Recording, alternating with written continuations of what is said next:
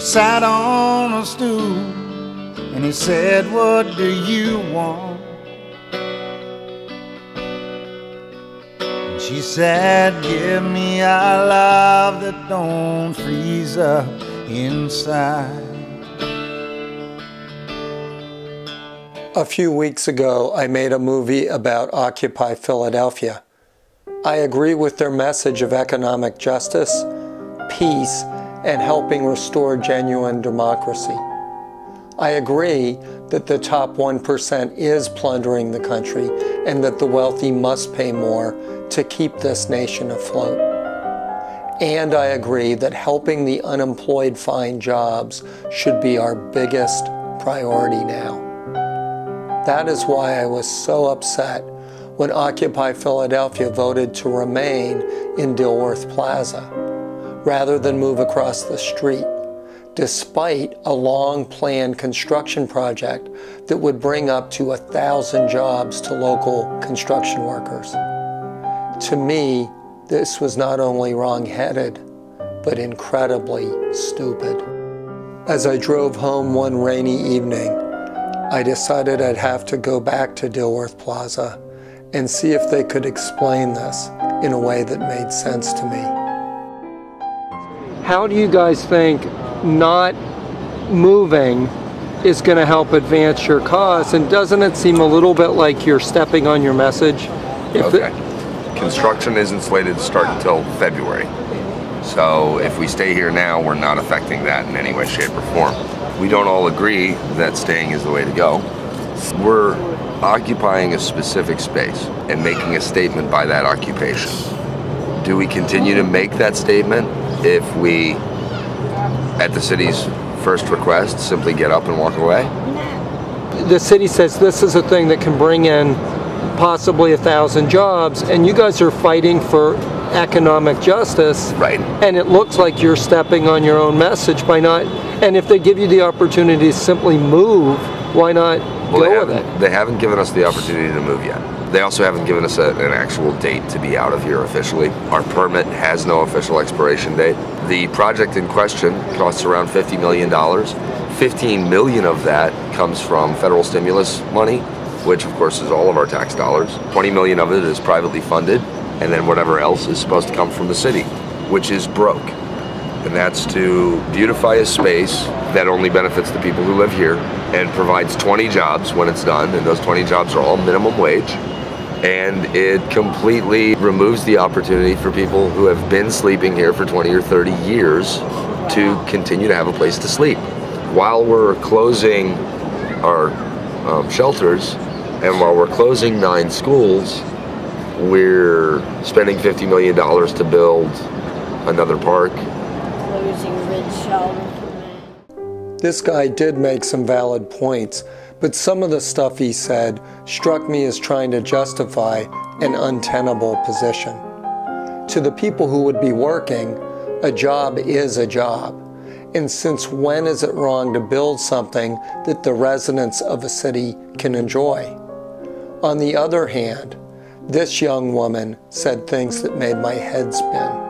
But the idea that there could be a thousand unemployed people getting a job now, isn't that? I mean, right now people. They're union workers. Yeah, these are union workers that already have been guaranteed jobs. So it's just another job for people that already have jobs. They've already said that they are hiring union workers. Well, yeah, but a lot of union workers are, are not working now because there's no construction going on. I mean, it, I mean, it's obviously the job of the unions to get union workers jobs.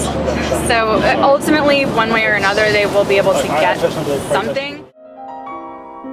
Maybe she knows something I don't but I'm pretty sure just being in a union doesn't guarantee you a job. I walked around a bit, taking in the sights. And by the way, I'm pretty sure this isn't apple juice. I filmed some women hanging up a banner in heroic social realist style until they started bitching at me to stop filming them.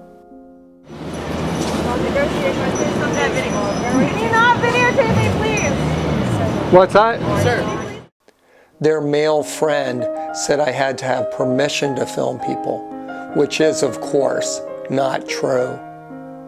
I was curious as to what their banner said, so I walked over to 15th Street to get a front end view. I kid you not, and the irony of this brought one word to mind.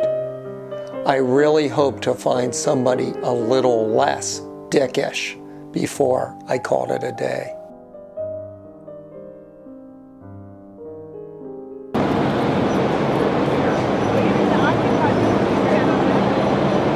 There are some people who want to stay uh, stay put no matter what, and are, might in fact be looking for the confrontation that's about to happen.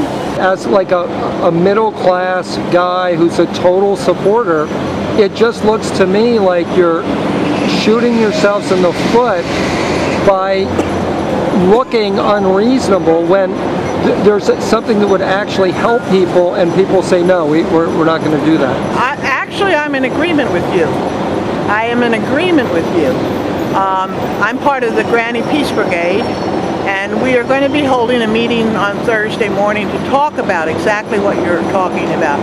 Uh, we we want to intervene in the in a positive way. We want there to be communication and negotiation rather than confrontation.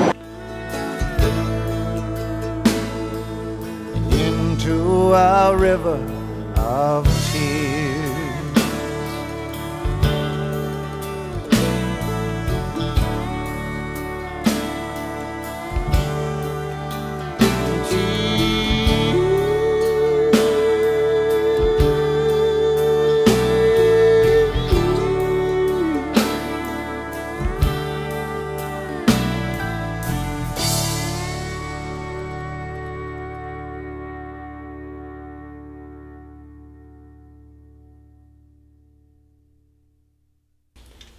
Mic check, mic check. This is going to be our anti-dickishness manifesto. We will not alienate potential supporters through hypocrisy. Don't take pictures of us without permission. We will not step on our own message by saying one thing and doing another. And we will not leave what looks like containers of urine in public view. We will follow the examples of Martin Luther King, Gandhi, and Grannies for Peace. I think there's room and there's time to negotiate, and I want to see that happen.